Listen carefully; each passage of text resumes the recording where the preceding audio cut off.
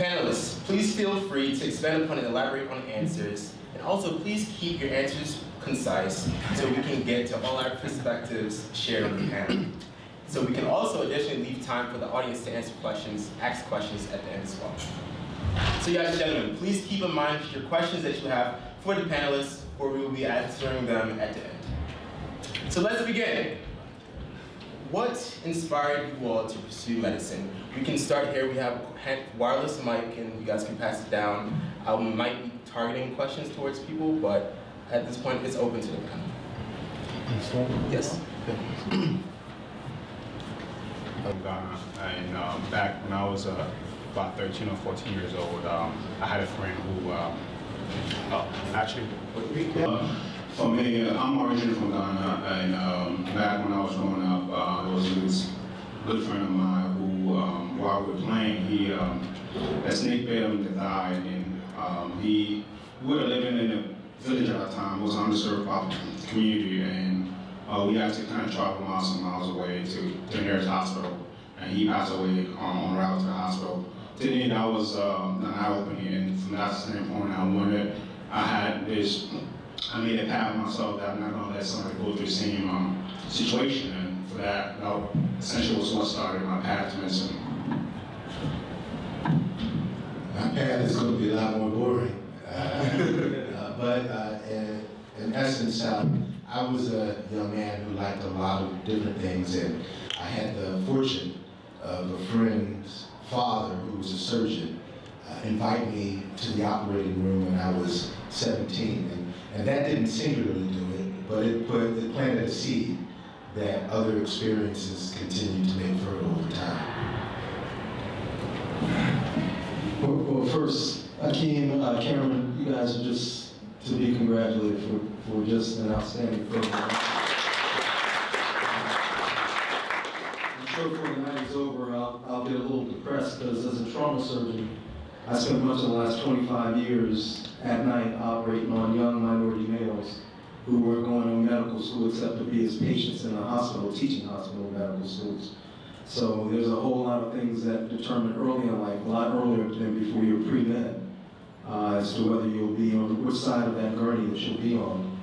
Um, I was, you know, I, am I'm the old man on, on the panel, so I was of the first post-civil rights generation where our parents wanted us to be doctors or lawyers or teachers. Or, and uh, my father was a surgeon. Um, and I, I interviewed for uh, the applicants to medical school, and virtually all of them have an experience, either among themselves or a loved one, that triggers them. And so I was pre-med when I went off to Brown University, but uh, as I told a couple of the ophthalmologists here in the, in the room, I had my first cornea transplant uh, after my freshman year of undergrad, and that turned uh, what may have been just going into something that interests you that your, your dad did into really a, a mission, uh, having the opportunity to have a single transplant restored vision, which had been blurry vision, uh, and led me to be able to have a successful surgical career. Now back then, when you had cornea transplants, you were in bed for five days so that your blood pressure wouldn't go up. Um, did you know that, Dr. Morgan? Five days. Now, my last, last August, when I had my most recent cornea transplant, I was home by noon. So things have changed a lot over the span of my lifetime, but like many other medical school applicants that I see, there's a personal experience with illness that really triggered and inspired me to pursue medicine? everyone. Um, I think for me, uh, when I was in undergrad, I was thinking about doing engineering, but I had volunteered, or I was a volunteer at Walter Reed with the American Red Cross, and I think for me, that was kind of like a pivotal moment in determining that I wanted to do this, and I had a chance to interact with a lot of doctors there who were working with wounded warriors and veterans coming from like overseas who had like all kinds of debilitating diseases and illnesses, um, paraplegics, all kinds of things like that. And just seeing like the effort that they were putting in and how much they were able to change their lives really made me decide that that's what I wanted to do and that's kind of how I wanted to do it. Thank you. Next question. Being that there are so few men of color in the healthcare field, did you all ever second guess if you should go into medicine?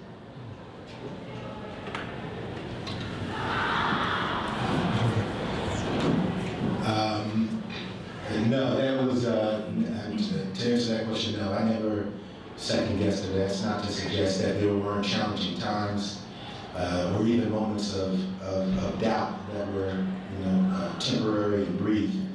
Um, but uh, the desire and confidence to, to pursue a career in medicine, despite sometimes not having, you know, when I went to medical school, I was, I went to Harvard Medical School, there were two black men. Um, and early in um, our first year, uh, it made the national news. My other colleague uh, was going to be kicked out for a confrontation after some people showed up in blackface. And they tried to reel him out of school.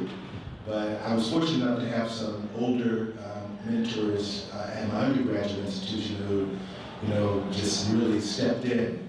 Um, and so while there weren't a lot of male black male role models. You know, I think a lot of my upbringing and the tenacity of my parents and peers and, and so forth uh, never made that rise to the level of having doubt about pursuing a career in medicine. I had doubt maybe after some of those tough uh, organic chemistry but feel about the summer between my senior year of undergrad and my first year of medical school, uh, I worked on this construction project that, that aged myself. This was the metro stop, the Orange Line in Rosslyn, Virginia. We worked from 11 p.m. to 7 a.m. and we worked 80 feet under, underground. And we had to go through a six-week construction project first, learning things that mean anything in this, in this on rebar time and all this sort of stuff. And so all night, all that sound, I can hear that sound to this day, clanging in my ear. The foreman of the jury is a, a white foreman with all black construction workers. And all night long, when it was time for one of us to come and tie the rebars, it was almost like working in the fields. And he climbed the rebar, climb, climb, rebar, laddie, rebar. And it was such a miserable night. I remember saying to myself, med school I don't care how hard it is. If I'm up two straight nights studying, it's never gonna be like this. So uh, all you need to do is to look at the alternatives and uh, it, was nothing as tough as that. But, you know, there's gonna be up and downs. Nobody, nobody uh, gets to that journey that's worth traveling without some trials and tribulations. Yeah, I guess it, it was never something that I really like completely doubted myself, but um, I think the hardest thing is not always having people who look like you in positions that you want to be in, and just having that kind of like positive role model that you can look at and be like, I want to be like that person one day. So I think that was probably like the hardest part for me, just knowing that there are certain things that I might have to like break ground on and be like the first one to do that. Um, which kind of presented a challenge. There are moments that you feel like, oh, I don't know if I can really do this, but never like complete doubt that there's no way I can't do this. Because there were people that I saw who may not have been in like the exact specialty that I want to go into that or a black male. But like I saw black men in like other fields doing other great things. So I knew that there was a way that I could get there. Um, and then in our class there's just um, four black men in our class. And I guess we all kind of motivate each other and help each other to, to get through the challenges. Um, I would have to say that I did have a little bit of doubt um, prior to medical school, prior to like thinking whether um, going to pursue medical school or not. Um, the reason behind that was because I felt like as a minority, I'm gonna have this target on my back where I need to do more. Um, it's just something that, um, to me, did not really sit well with me. Uh, I felt like that may create um, a distraction and may actually not allow me to be able to succeed and do well. Um, but paradoxically, actually helped me because uh, now as a medical student, I feel like I always need to push myself more so than uh, my white counterparts. And uh, to me, uh, that inspired me to study even more so I'll be able to prove myself. Um, and whereas I think maybe other people may find that distraction, um, but for me, I thought it was it inspired me to continue to work hard. Percy, you touched on this a little bit, but for the rest of you all, um, where most of us here are pre-med undergraduate students, what, was there any experiences during undergrad as a pre-med student d- that you had that shook your confidence? Where you might have felt a little uneasy during pre-med, being a pre-med student, and how did you persevere from that? Um, I'm not sure. I mean, I can't, I don't, I don't know the rest of the panels, what their experience are, but for me, my first years was pretty horrible. Um, was, was through that. I had, um, I went to college here. I had, um, Dr. Vide for evolutionary biology my first year. I had like C almost the class. And uh, a lot of, I had a lot of C's in a lot of my science classes in my first two years. And so at the end of my third, I believe, halfway through my third year, um, my GPA was hanging around 2.6 or 7, and this is a student I was trying to go to medical school. Um, so I had an epiphany. And I was like, wow, what am, what am I going to do? Um, and so what I tried to do, I mean, obviously that shook my confidence, and I wasn't sure whether I would be able to go into medical school in the first place. So what I did was, um, I was telling some of the students um, back there that I, there was this book that I read. I love it. Uh, it was a book written by Randy Pausch. He was a computer professor who had six months to live. He had pancreatic cancer, and he wrote a book called The Last Lecture. And he had a lot of quotes in that book. And one of the things that he mentioned was brick walls are there for a reason. They're not there to stop you on your tracks. It's what show how bad you want it. So at that time, um, I'm that kind of person that don't like reading novels. I read this book because, you know, you're in class, we're supposed to read that book. Um, for some of you guys, you know, these like introductions to like university that we all take as um, first year undergrad. And so, uh, to me, that quote really helped me along that way um, when I was in bad times. So uh, I asked myself, do you want it badly? Do you want it badly enough? And from then, I knew I wanted to go to medical school, and my confidence kind of got back up, and I started taking 22 credits, because at the time, I had already accumulated a credits with 2.6, 2.7, so I need to take more credits and do well in it. So I started taking more science classes. I took 22, 23 credits at some point, 20, and, and, tried, and got A's in all of them. So I got 4.0 from that time, so I graduated. And I ended up going back to some of the classes that I had already taken my first year, evolutionary biology, and taking it again. And then taking advanced um, biology and getting an A in it to show them that, hey, I'm a changed person. Um, and then when I graduated, I was hanging around 3.7. Um, so that really helped, and I think. Um,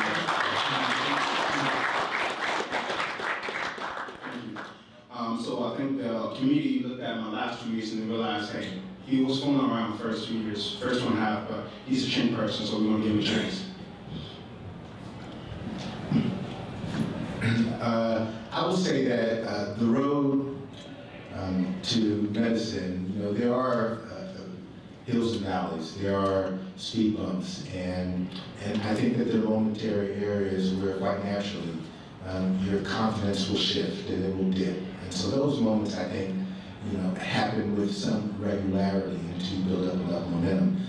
I think in terms of an epiphany um, or a, you know, transcendent moment, uh, I would say that, you know, as a sophomore in college, I realized that, um, you know, I almost got had an experience where I gave myself permission that it was okay uh, to be fully confident. I think that uh, subconsciously we are, you know, we were we're told we're inundated with clues uh, that we need to tiptoe uh, or we need to apologize uh, for being, you know, bold and confident black young men. And it's part of the maturation process, but it hit me um, that no matter what I do, whether studying or taking a test or whatever, you know, I, to have a mindset that gave myself permission to be fully confident uh, and to prepare and work, and no matter what I did, whether it's taking a test or getting ready for an exam or studying, that mindset was always helpful. Um, and so for me, rather than a singular epiphany, I would say uh, there was some maturation that happened. Um, and, uh, you know, I, I was grown up in a way that allowed me to proceed, you know, without caution. And, and that certainly didn't mean that I wasn't going to have some bumps and bruises and so forth, but it's something that I believe in today. Um, you know, I've, I've been at the University of Maryland, where for years I was the only black surgeon. And, uh, and, and I've been asked when I'm getting ready to go to my OR, you know, to, uh, that's what trash can to clean up a room. Um, and we have a few more now, but I could not allow, you know, just the fact that there weren't many to make me conduct myself in a way that I wasn't the majority. So uh, that would be my take-home message. It's a matter of maturation and not being apologetic about who you are and you know how you look and how you come uh, to the party, and you know just make sure you have as much fun as everybody else. Taking me back when you asked me about pre-med, my sentinel moment was my freshman week, orientation week. So take me back 40 years. um, now I went to Brown University, and I had good high school preparation. In fact, my physics and calculus classes in high school were very similar to that we had to take for pre-med in college. And I got all the way to February before I got to homework that I hadn't already had. So I had good preparation. So I, I wasn't recruited to play basketball. We had a good team, played a good year, senior year in high school. But I decided I wanted to walk on and play basketball.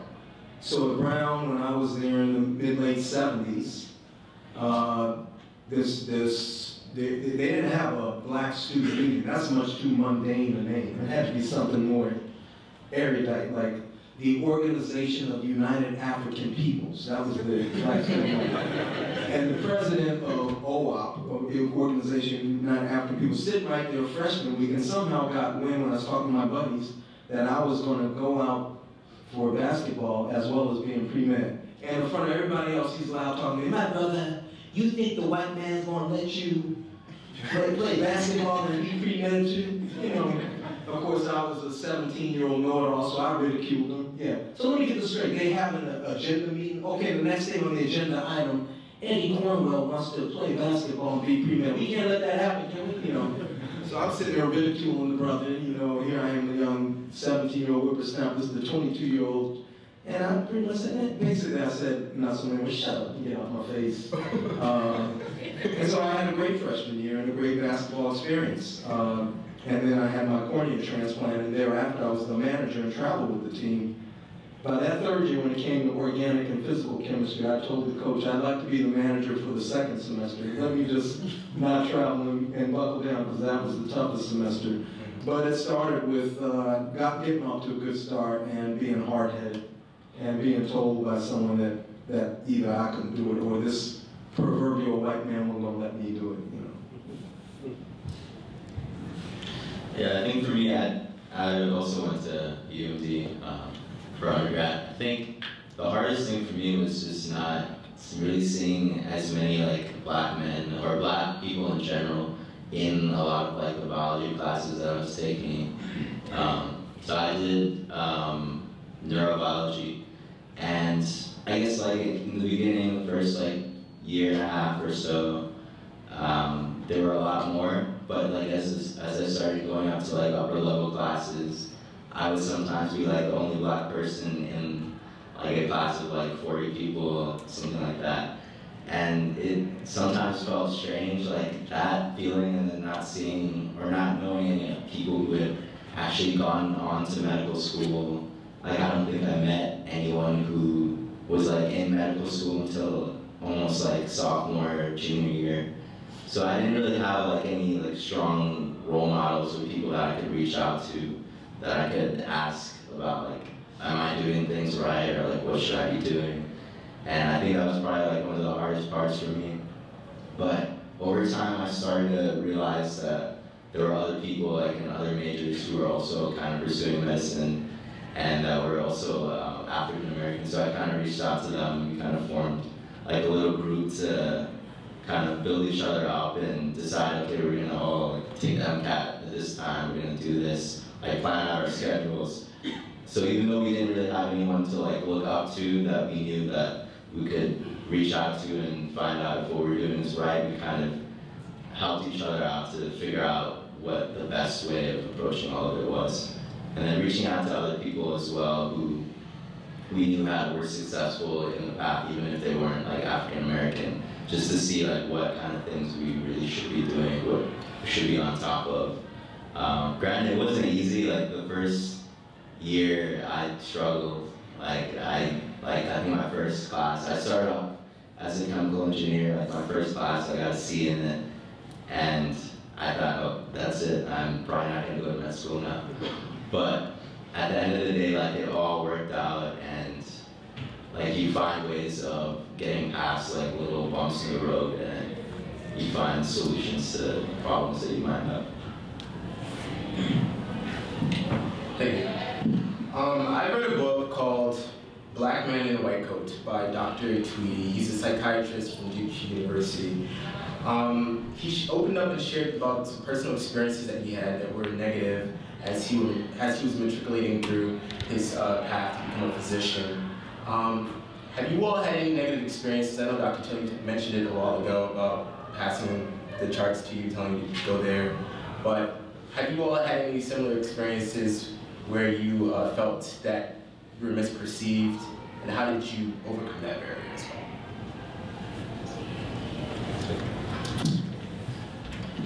Um, in the beginning of, like when we started our curriculum, we have like a health disparities course that we take in the beginning. And it's basically an introduction to like Baltimore and the different health disparities that affect the population, which is majority black. And I guess in that course, there are certain times when, because we were divided into like different groups, and I would be like the only black person in my group. And you, you know that feeling when you kind of feel like you have to represent your entire race. so that, that happened pretty often. And I think that is like the biggest thing that I noticed in that school is like when things come up that are things that like predominantly affect like African Americans, sometimes I'm almost expected to be able to speak on it even though it might not be something that I personally dealt with. But I think there is some benefit to being black in like a predominantly black um, patient population, especially when you're interacting with patients and they see that you're like of the same ethnicity or complexion or anything that you can share, like they open up to you a lot more. So there were times like I'd interview a patient that was black and they would tell me things that they hadn't even revealed to my other partner who was like white or Asian. And like you notice things like that, like it's a lot easier to build connections with the people that you meet, which I think is really meaningful. I, I think I've had about as diverse a professional experience as anybody that I know.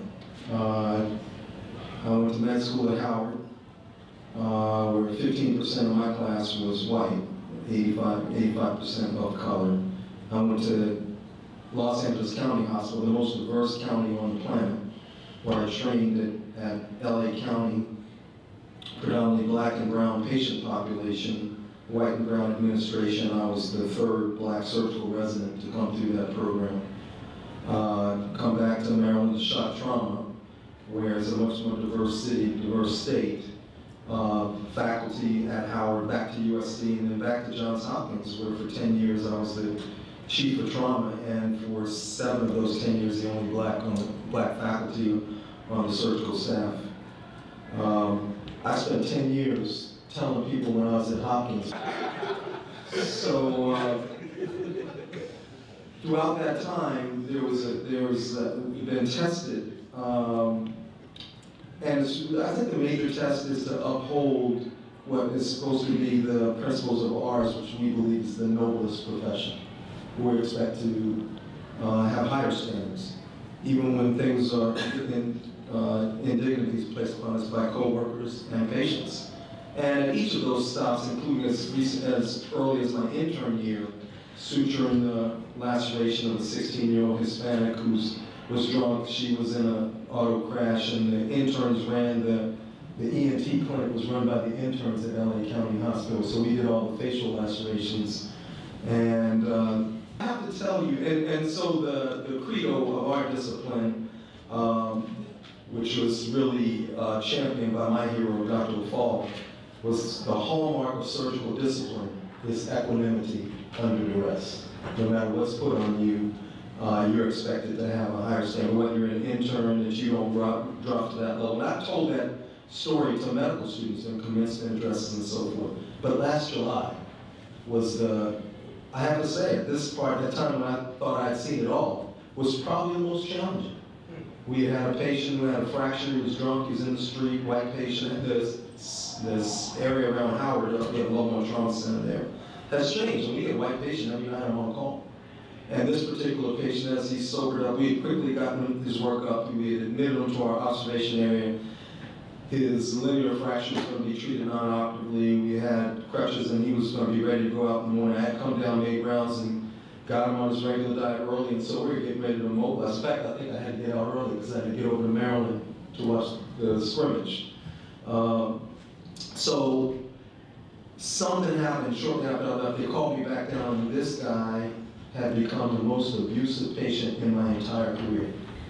The things he was saying to the, the uh, misogynistic things he was saying to nurses, I told the nurses and residents, get out of there, so it was just him and me and a security guard. And the security guard was ready. He had that equanimity. Sir, listen, I'm gonna F y'all up and you do this, this, and he went, oh, what's this nigga eight gonna, gonna do? And, I'm- and I mean, at the top of his voice, that everybody could hear. And uh, you talk about pushing that credo. That's easy to say. Equanimity, but at five in the morning, you've been up all night and you're a little scruffy and tired, and someone's laying down abuse on you. You know, that's not even easy to say, let alone easy to do. And the hate dripping off his face when he said, you know, and, and my wallet was there, and then I had a hundred dollars. And I'm, I want to say anything about your job, hundred dollars. Man, get you, you know, I said that to myself. I don't say. But there was a moment of truth where the hatred. And now, I was used to that kind of treatment. It had happened at Hopkins, it had happened at USC, it had happened during my fellowship at University of Maryland. Patient who was surrounded by a rainbow coalition of doctors and nurses, residents, Filipino, white, Asian, African, African American. It was really a beautiful thing that he made so ugly. And something struck me that he felt that his white skin ordained him to be able to come and keep that abuse with, with impunity. And I have to admit, as I sit here and talk high and mighty, with a suit on, equanimity under dress, at that time at the bedside, the thought crossed my mind, and you all know what this means in our history. He had such hatred dripping off his face that I thought for a second he might spit on me. And y'all know what that means historically. I mean, suddenly the rules disappear, don't they? Somebody spits on. And I just don't know. And I told this story. I had to go upstairs and compose myself. And I told, at my grand rounds two weeks later, I told the students about my innermost feelings about that. And of course, of being able to avoid that, I said, listen, we just gonna get, get your stuff and get you out of here. That was the, the worst episode of my career. At a time when I could handle, I, I'm sure I had everything. It is not, I mean, usually I just laugh it off, you know, I got some joke and you get patients in trauma frequently has patients that alcohol contributes to it, and they say a lot of things to you. And I frequently take it upon myself to diffuse the situation and let sure all the people walking around, we're not gonna let anybody hurt us, we're gonna sedate them, and get the studies and so forth. That one, at the most experienced point of my career, bothered me more than any, because there was a split second there where the rules may have disappeared and you all would not have been very proud of me. And uh, I'm glad I avoided it. You know, you spend many years building up your reputation and then one, one drop, one instinctive reaction could undo all of that. Yeah. Thank you. And I, I, I agree uh, with the tenet of uh, keeping your composure, because it will get tested from time to time. But I think when the question was asked, will harken back to me, I was a uh, third year medical school student, medical student. And I must admit, I, I don't know that I had all of the wherewithal to have handled it optimally. Uh, but the principles of being composed and, uh, you know, um, and, and, and keeping your professionalism certainly true. And uh, the story was uh, I was doing my third year uh, surgical rotation. I, at this point, I knew I wanted to be a surgeon. You know, I wanted to, you know, nail the rotation and do well on it. And um, for whatever reason, to the day I don't know why, the chief resident, um, who was uh, he was an excellent surgeon. Uh, he was extremely smart. I, I can't uh, sort of uh, pick him apart. He was a Caucasian gentleman. And for some reason, he just didn't feel me. And he didn't express it. He just boxed me out. And so when it was time to divvy up cases and go to the OR, you know, he said he'd get back to me.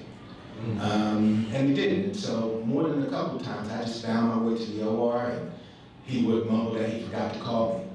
And that kind of just that passive aggressive abuse was happening throughout the rotation. And, one particular time during rounds, there was an Asian intern.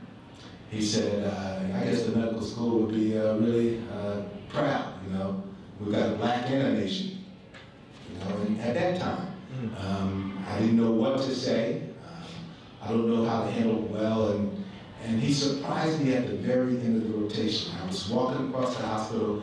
He found me. He stopped me, and he said that um, he was moving on to the next service, but he wanted to um, compliment me on how well I performed during uh, the rotation, and he was going to recommend me for honors. And I was dumbfounded because I just thought that I still don't understand um, the dynamics behind it. I just had washed him off as a racist who was not at all um, open-minded to be supportive of a young person who, young black man who wanted to be a surgeon. Um, so I share that story with you not because I have an ideal answer of how to conduct myself or what I should have done more properly, other than keep my professionalism and, and work my butt off. Um, but something may come up like that, and then you just need to fall back on the tenets that wind up being true, and that is keeping your composure, um, being a professional, and, and, and, keeping your grind on. I think fast forward, and, and I'll wrap up with this, uh, I would say that those experiences continue to happen in some form, uh, even uh, as I became an attending, um, and people in the community or other parts of the state would refer a head and neck cancer patient to me. They typically had seen uh, a more senior, gray-haired white person, and it was before they were using the internet more regularly.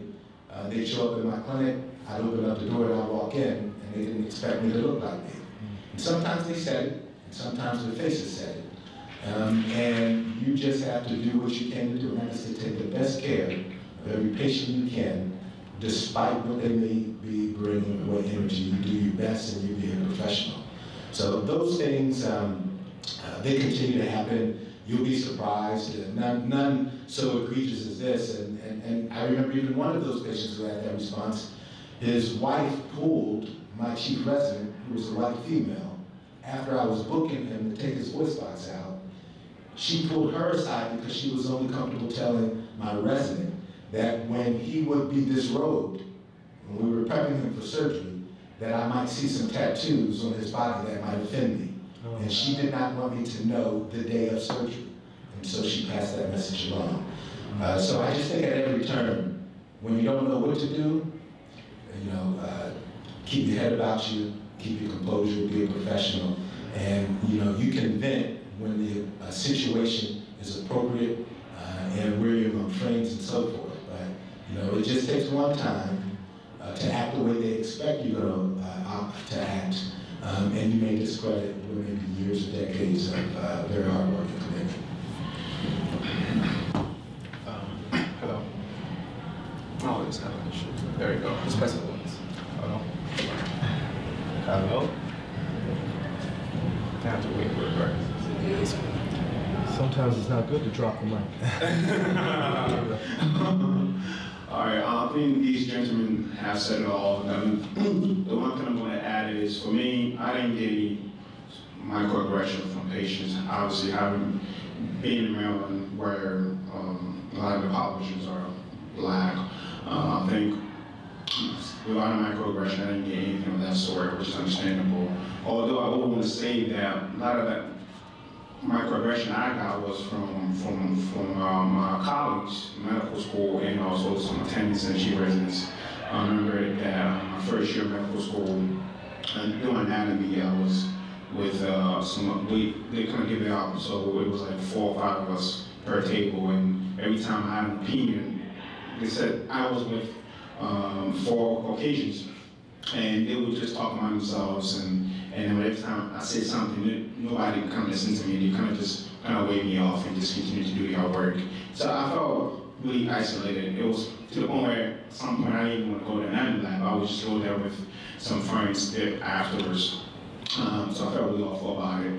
Um, also, additionally, um, back in my third year, um, I had attendance and chief residents alike who um, I would be presenting a patient, but then uh, after I'm presenting and they're talking about the patient, they will be talking to my, because with, they were talking to my, um, essentially, my co-medical student who's Caucasian or like non-black essentially.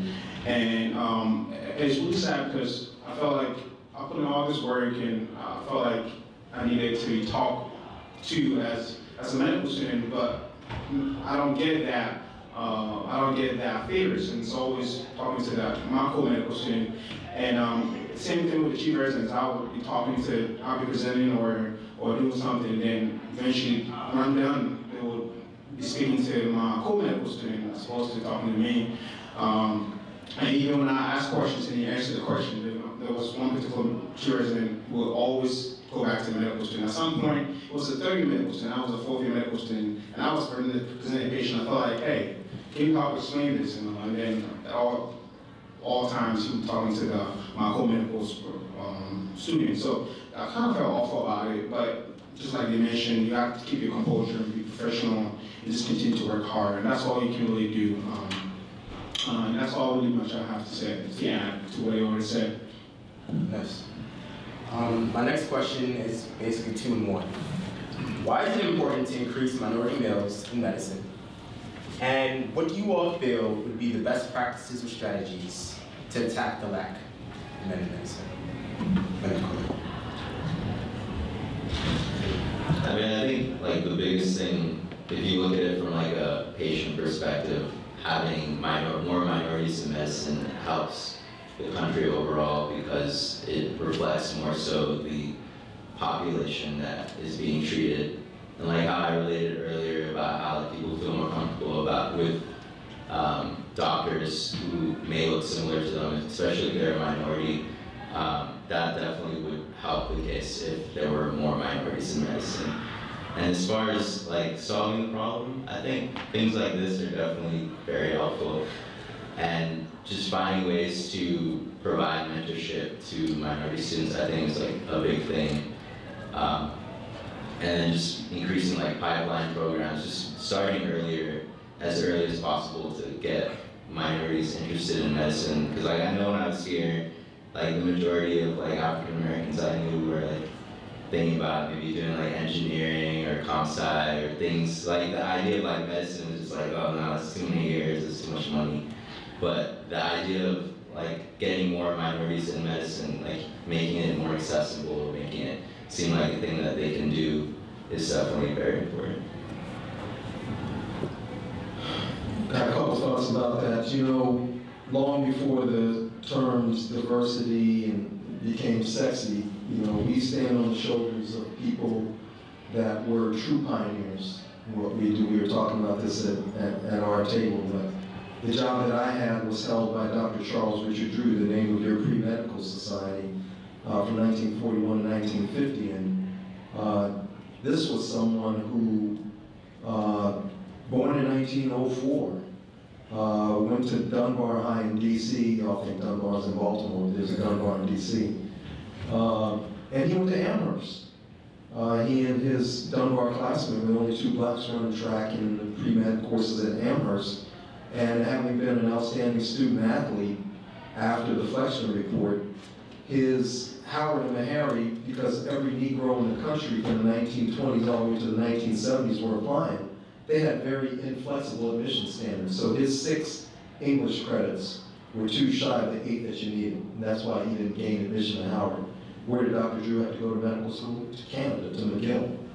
Uh, and that was his only uh, colorblind, as he called it, experience. He had, when he came to America, everything else was what was his approach to it?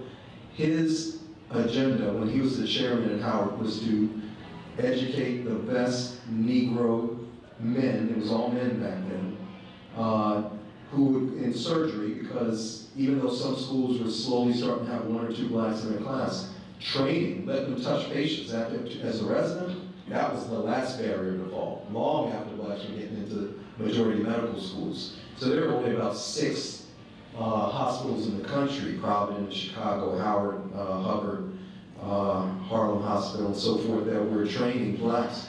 So everyone wanted to come Freedmen's Howard in DC to train Dr. Drew. He had a mantra that upon which we stand on the shoulders today.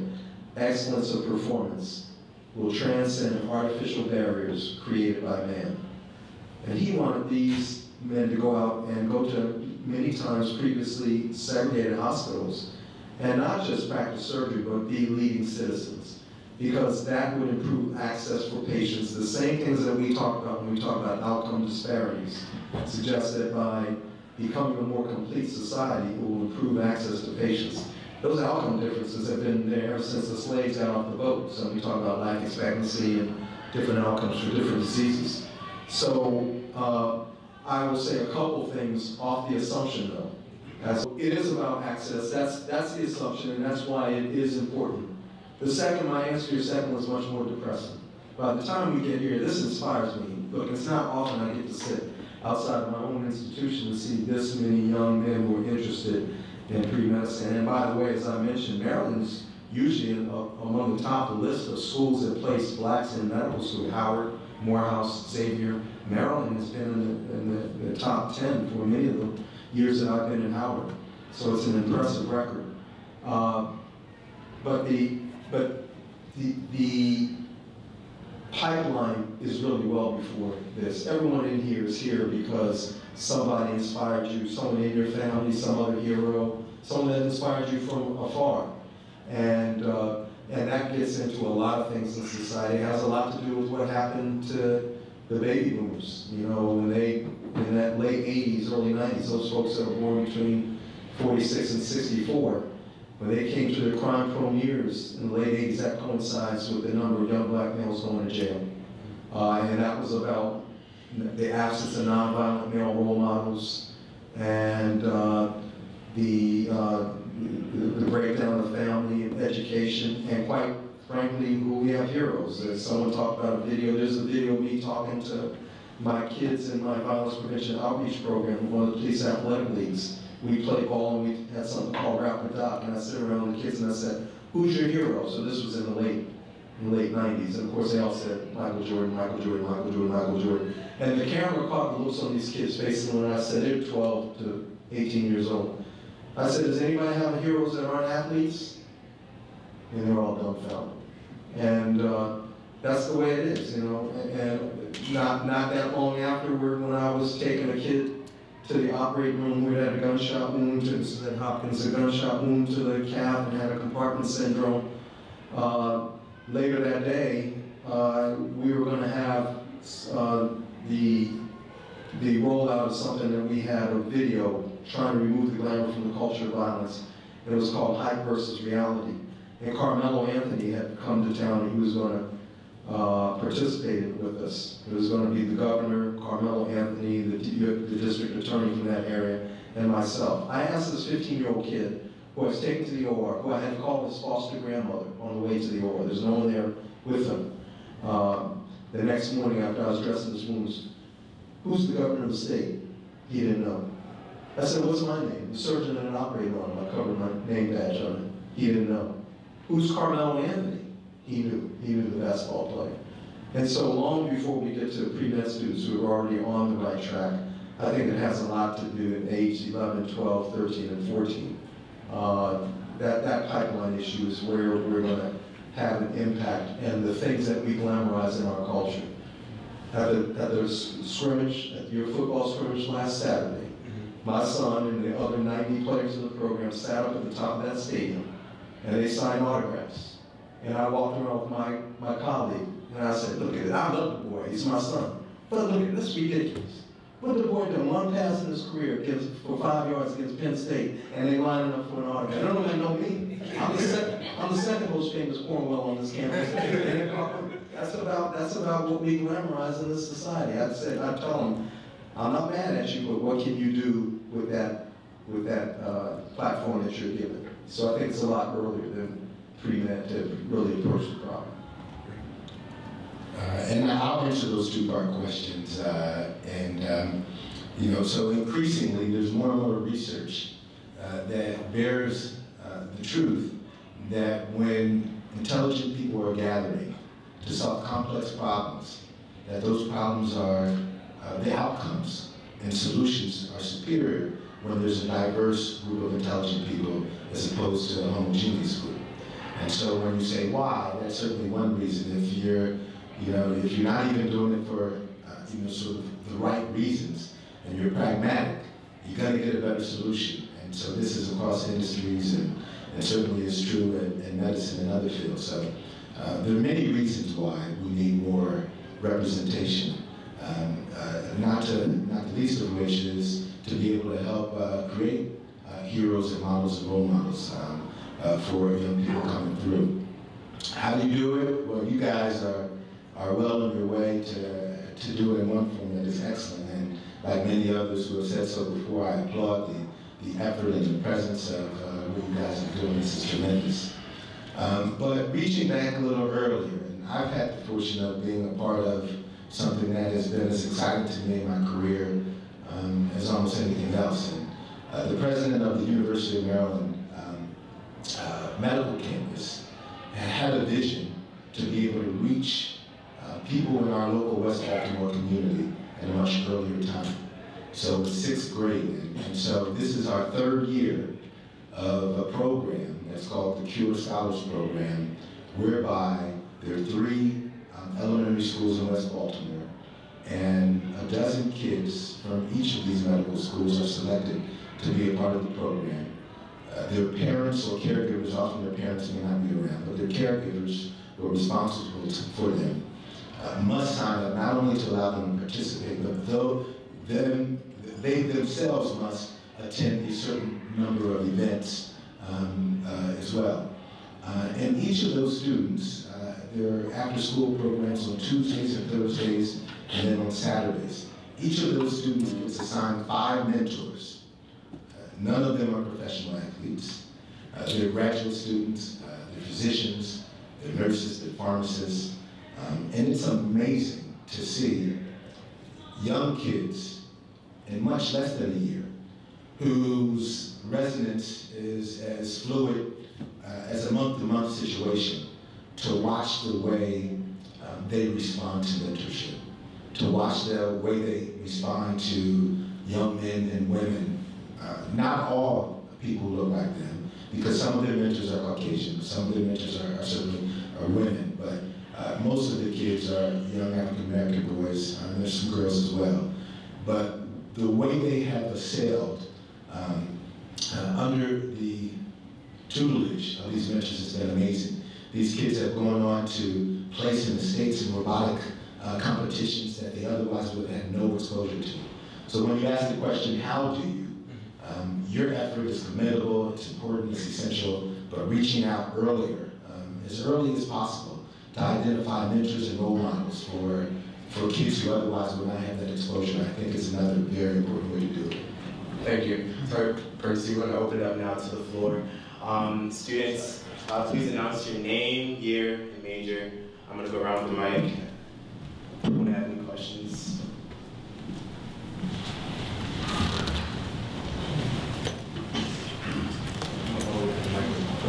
Uh, my name is Abel. I'm a first year here. Uh, my, my major is biology and neurophys. Um, I, my question that I was thinking about this whole time was, uh, especially in regards to just kind of what drives you guys. Uh, I don't want to, not to make it too long, but if you had to fill in the sentence with my passion for blank, um, uh, my passion for blank fueled my pursuit. What would you fill? What would you fill that blank in with?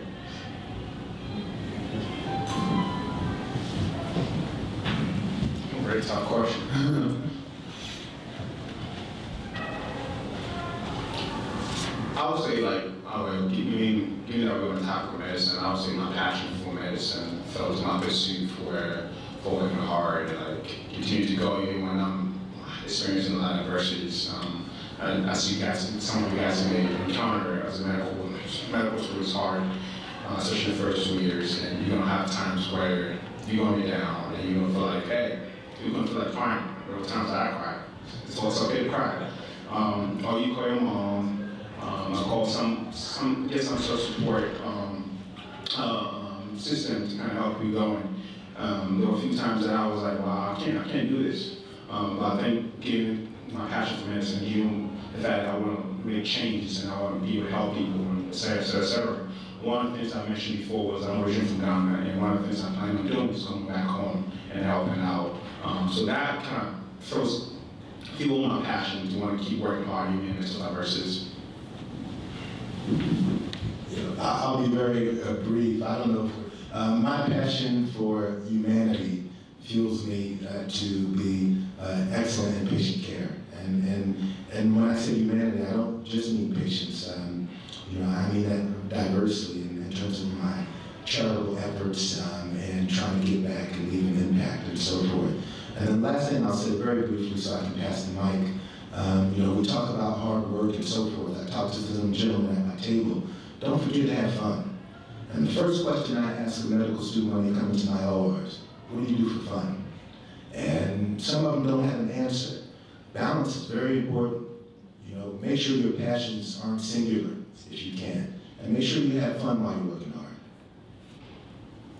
That's, uh, that's great advice. The first thing we ask our intern applicants, tell us something about yourself outside of medicine, a fun fact about a hobby or something that you do. My passion uh, is for academic surgery and all that that entails. Uh, last Sunday night I was on patient that we took to the operating room, another compartment syndrome. Uh, students were with me, residents were with me. A couple of them had, this was their first time seeing the case and seeing that that muscle pop up as you incise the, the calf compartments and uh, it was something that was good for the patient, the teaching uh, episode, and it drives you. And uh, one of my mentors said, you, that's the, the biggest decision of your life, finding which specialty or subspecialty really grabs your passion because as the saying goes, once you find it, you'll never work another day in your life. And you can tell, you know, people that really love their job, they'll say, how many hours do you work? A journalist will ask you, and you'll say, see, I was on Sunday night, and when did I go home Monday? Because students are half my age, they gotta be home by noon, I'm running grand rounds, the old man's still there. Then I was on Wednesday, and I had to take a nap on People love their jobs, they do that. You ever been around someone that doesn't like their job?